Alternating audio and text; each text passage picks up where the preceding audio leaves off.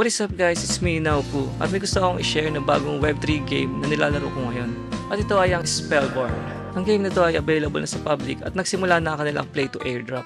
Kaya maaari ka na magsimula hanggat maaga. Ano nga ba ang Spellborn? Ang Spellborn ay isang open-ended monster-catching MMORPG. Maaari kang magsimula bilang isa sa tatlong hunter na may kani-kaniyang specialties at different paths sa game. Marami kang pwedeng gawin dito gaya ng makipaglaban at i-capture ang mga monster at i-level up upang mag-evolve ito. Pwede ka rin dito magtanim, mag-fishing, at mag-craft ng mga items na makakatulong sa iyo sa pag-progress dito sa game. At ang pinaka-paborito ko dito ay maaari kayong mag-hangouts ng iyong mga kaibigan dito sa Eurocobi Town. At ito pa ang the best, dahil magkakaroon din sila ng PvP mode sa darating na update. Kaya kung mahilig ka sa MMORPG at Web3 games, ay tiyak na ito na ang para sa iyo. Ang game na ito ay playable sa kahit anong browser, kaya maaari mo itong laruin sa PC or mobile phone. Easy access, di ba?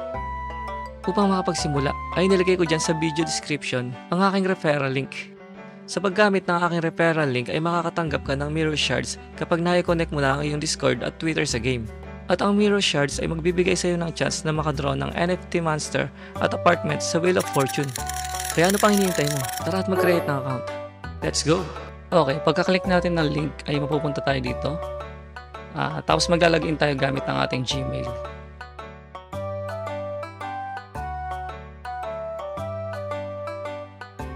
And then maglagay tayo ng in-game name.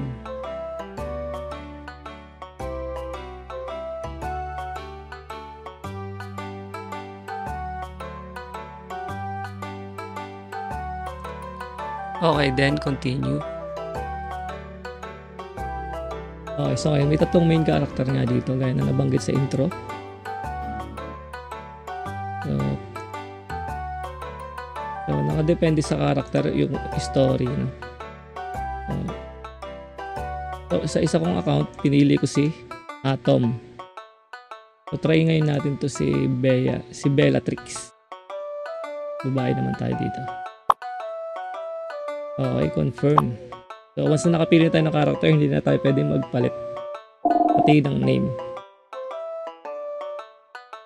Yan, may story siya.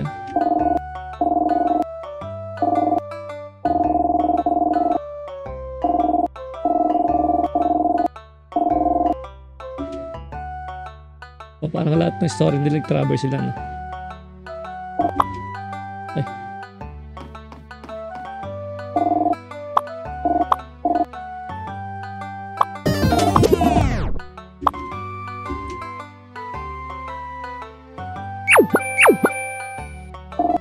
Fast forward lang natin sa story, no?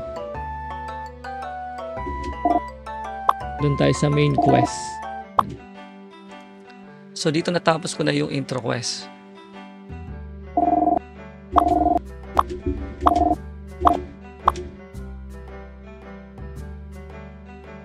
So ito, meron na available na quest. Ang gagawin natin yung mga main quest. Punta tayo dito sa map. And then nandito yung mga quest. Yan, so meron tayong dalawang side quest at saka main quest. Pero ito muna, dito muna tayo magpo-focus sa main quest. Skin in game. So, yung skin in game, pupuntahan natin yan dito sa sa star clothing. Okay. Okay, board tayo. Tapos sa star clothing, ito, nandito sa may building na may star. Kausapin natin to yung puting button to. Si salesman Ken yeah, Hinechi. Okay.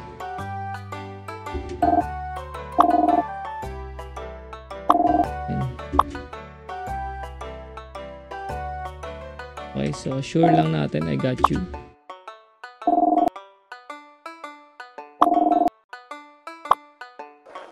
Okay, ilalagay natin yung board. Tama ba? Diretso na tayo sa greater market para ilagay yung board. So, nandito yung greater market. Press lang natin yung E. Okay.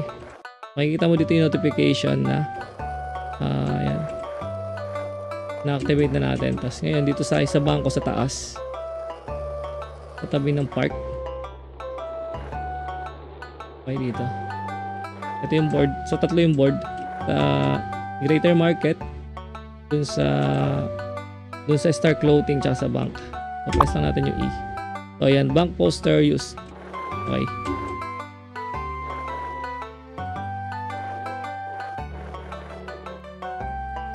Tapos ngayon babalik tayo sa Star Clothing.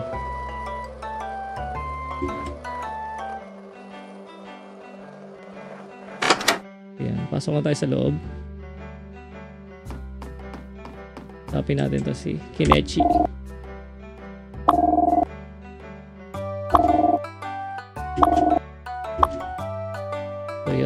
na natin yung quest 1.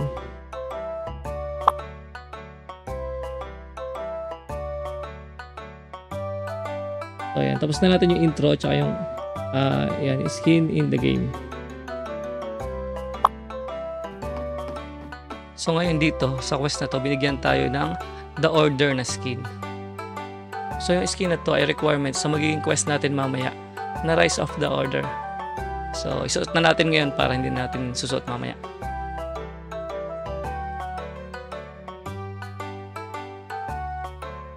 So yun, next na tayo. Next nating quest. Check ko kung ano yung next nating quest. So, far from home. So, yung far from home, so pupuntahan natin si Botan. So, sa Sunshine Trail. Okay, so ang Sunshine Trail nasa baba. Punta lang tayo dito sa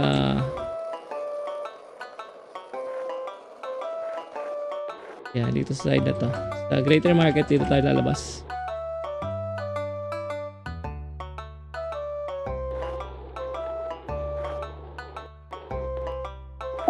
So, ayun si Botan.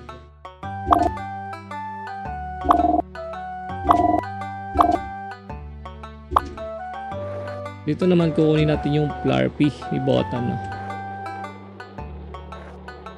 Nandito yung dalawang babae. Ito yung dalawang bully ni Botan. Ano? So, si ano malicious teenager at si Danica. Ah, si Nova at si Danica yan. Okay.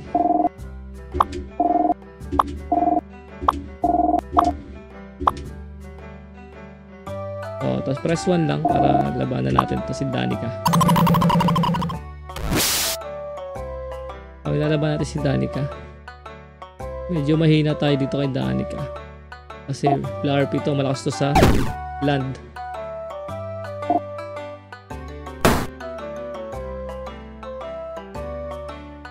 So, fight lang ulit.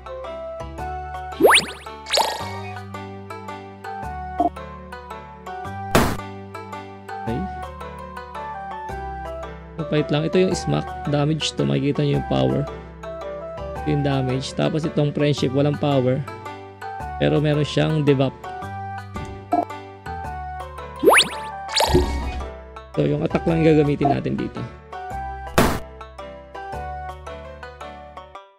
May tarang piso, banata na natin.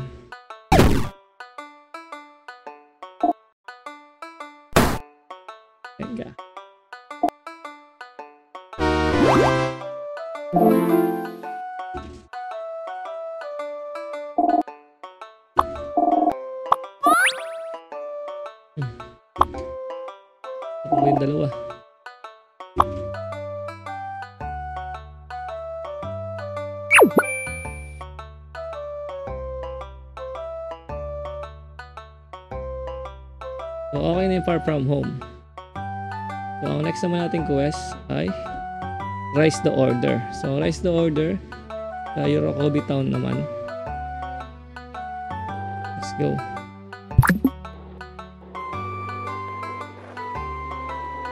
So, dito para maiwansan mo yung mga monster, pagpabalik ka sa Yorokobi Town, may daan dito sa kabilang hagdan. Tapos, dapat hindi nakatingin yung mga monster.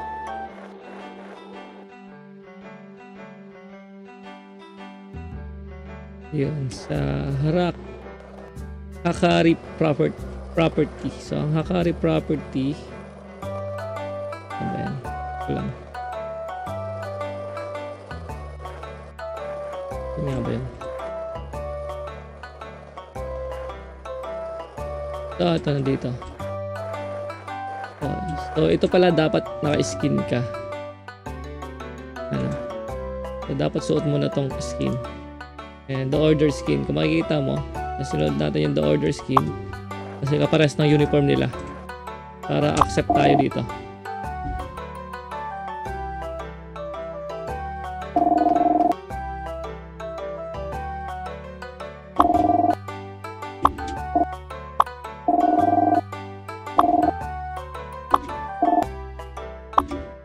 Clap, clap, clap.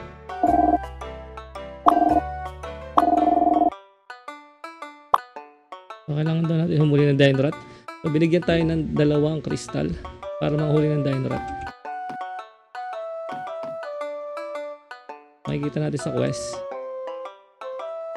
Yan. So, capture Dinorat. Yan, that's Dinorat. So, ang Dinorat dito sa village.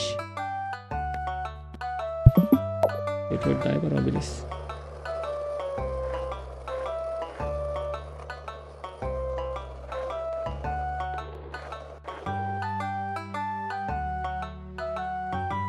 So, yung Dinorat, yun yung may bomba sa likod na daga. So, ito, ito. Makikita mo yan. So, yun yung may bombang daga. Hanapin na natin. Yo, level 5. So, pwede na to. Kaya kaya natin to.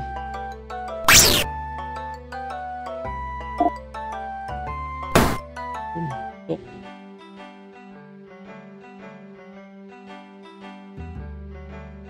Ilan yung damage niya? Takto to.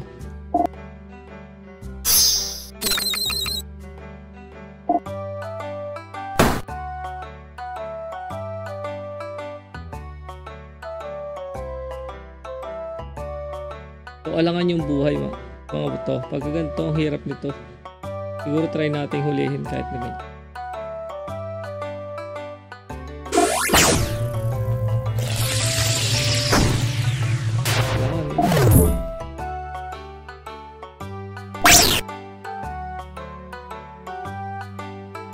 Theory natin.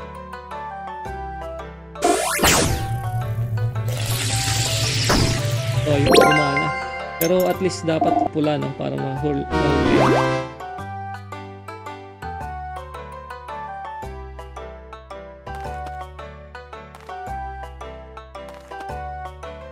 So, check natin yung quest. Rise up the order. So, ibig sabihin yan, babalik tayo doon sa building. Sa Hakari Holdings.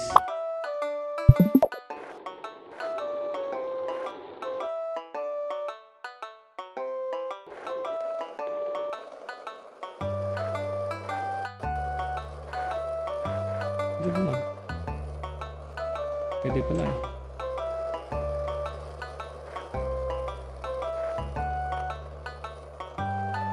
Try Hakari Holding.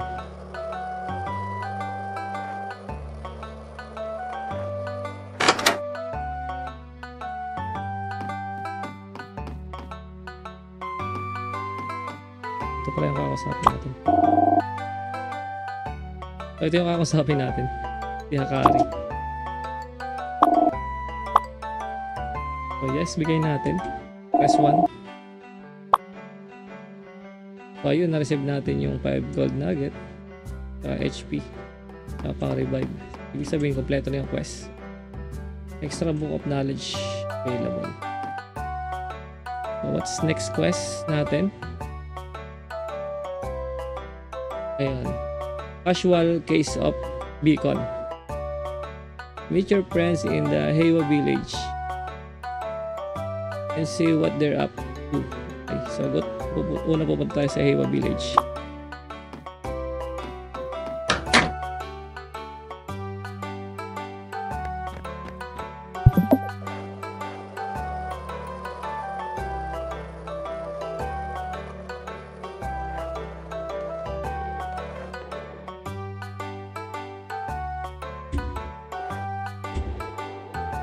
So, sana hindi tayo mapalaban dito. Iwasan natin yung mga monster. Ay! speaking. Tignan natin yung runaway.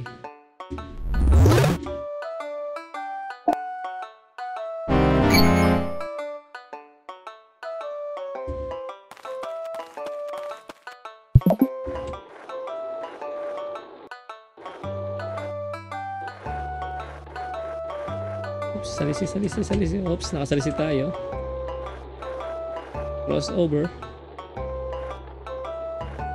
nakatingin, nakatingin.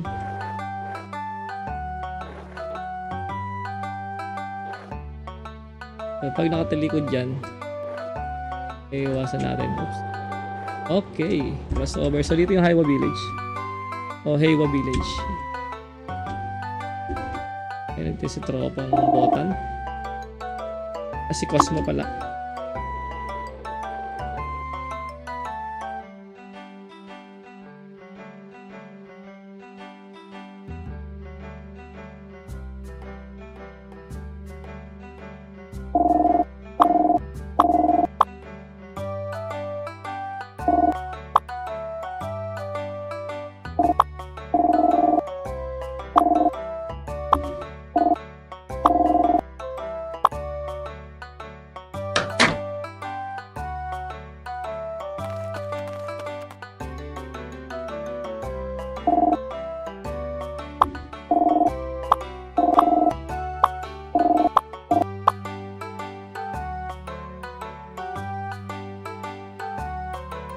Tapos na yung quest sa Cosmo. Ay, sa Cosmo. Sa Beacon. Ayun, next quest natin. May ma-unlock tayong quest. So, yan. Sunod natin, ah, a day at the daycare. And capture total. Pupunta tayo kay Aiko. So,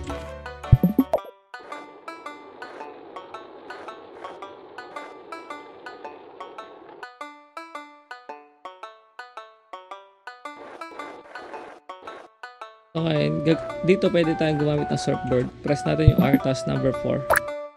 So yan. Pag-surf sa tubig. Dito natin makikita yung total. So pag hindi total, okay.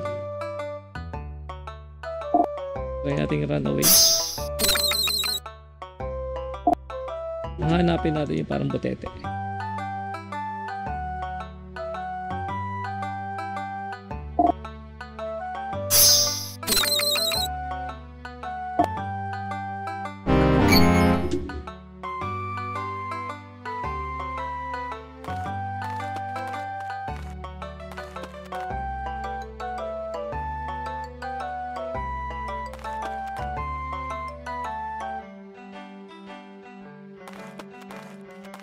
lang natin mag-refresh ng map.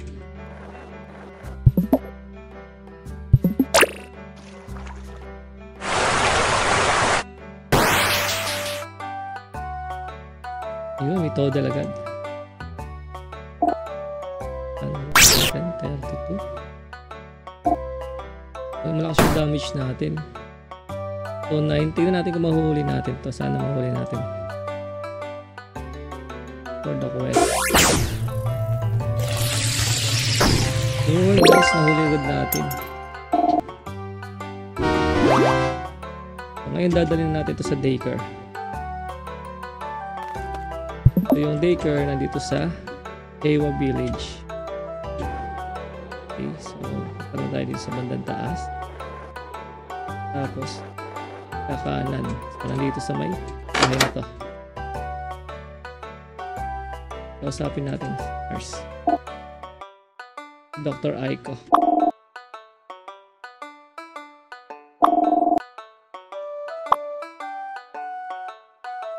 Baker.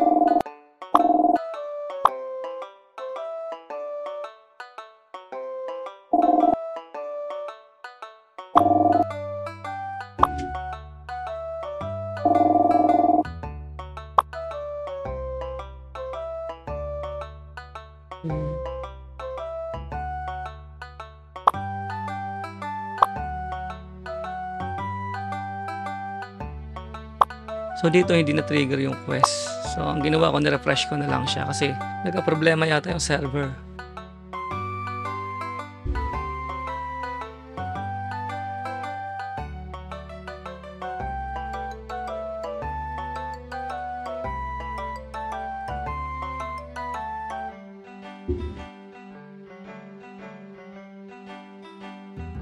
So ayun, na-disconnect tayo pero pagbalik natin, okay na yung daycare. So, ang next nating quest ay yung Everything is Makeshift. So, doon natin yung pupuntahan sa building ni Specialist Joe. Okay, yung building ni Specialist Joe, nandito yan. So, from here, up, akit tayo, tapos ito pa. Pasok lang tayo dito. So, dito yung crafting area dito kay Specialist Joe. So, tuturuan lang niya tayo dito mag-craft ng mga materials.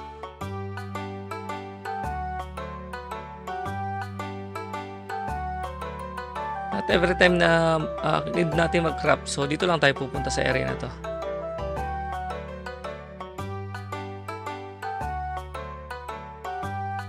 Okay, so yun nakapag-craft na tayo. So, okay, tapos na yung ating everything is makeshift.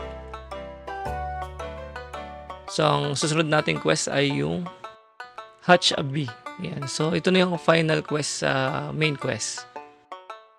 So, dito nga pala lalabanan natin yung, yung bubuyog. Ano? So, medyo mahirap yung kalaban kasi malakas yun sa mga land type monster. So, ang gagawin natin, papa-level up natin itong ating nahuling uh, Toadle. So, uh, at least i-level up natin siya sa level 7. Yung ma-unlock niya man lang yung skill niya na bubble. So, yung bubble kasi yun yung kahinaan ng B. So, okay. Pa-level up na muna natin yung ating Toadle. So, yun. Napa-level up na natin yung ating Toadle. Sa level 6 lang pala na-unlock niya na yung kanyang skill na bubble. So, ilabanan natin yung B. So, nandito yun. Pupuntahan lang natin si si Botan. Okay, so dito nga pala inuna ko muna yung woodot ko kasi mamamatay na rin naman. So at least makakatira, piso lang naman yung buhay oh. Baka makatira pa. Okay, swerte, nakatira pa. oh, dumamage pa. So level 10 yan, ano? medyo mahirapan tayo dyan kung wala tayong uh, toadle. So ayan. Check natin kung makatira pa. Patay. Kinidlatan.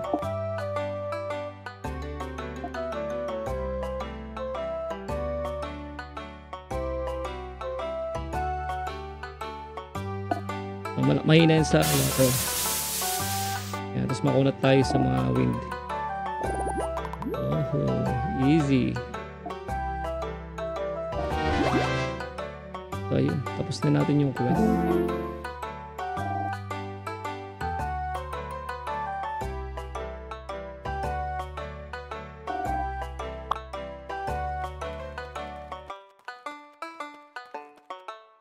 Okay, na-unlock na natin yung map dito.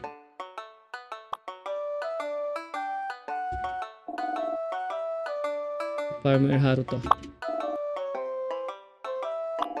So ito dahil na-unlock na natin yung map, mga progress na tayo sa mga side quests. So dito tinuturo lang naman na pwede mong itanim yung mga crops. So, may tan dito yung taniman.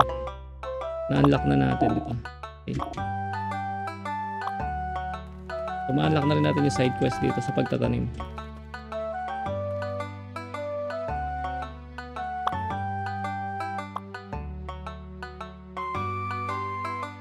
Ayun, so tapos na natin yung walong main quest.